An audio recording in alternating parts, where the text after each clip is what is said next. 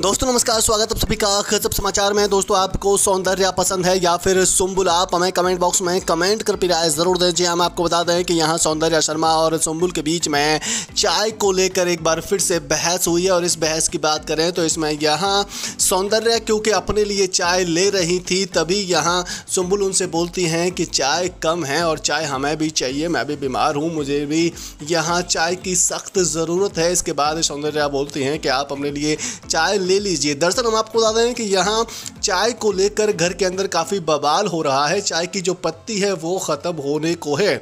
और इसी के चलते जो घर वाले हैं वो चाय की पत्ती को सेव करने की कोशिश कर रहे हैं। रीयूज़ यहाँ चाय की पत्ती की जा रही है और इसी पर यहाँ बवाल देखने को मिला है। यहाँ सौंदर्या और सुम्बुल के बीच में, जिसमें कि यहाँ सुम्बुल का कहना है कि बार बार आप इस तरीके से सिर्फ़ अपने लिए चाय की पत्ती वेस्ट ना करें।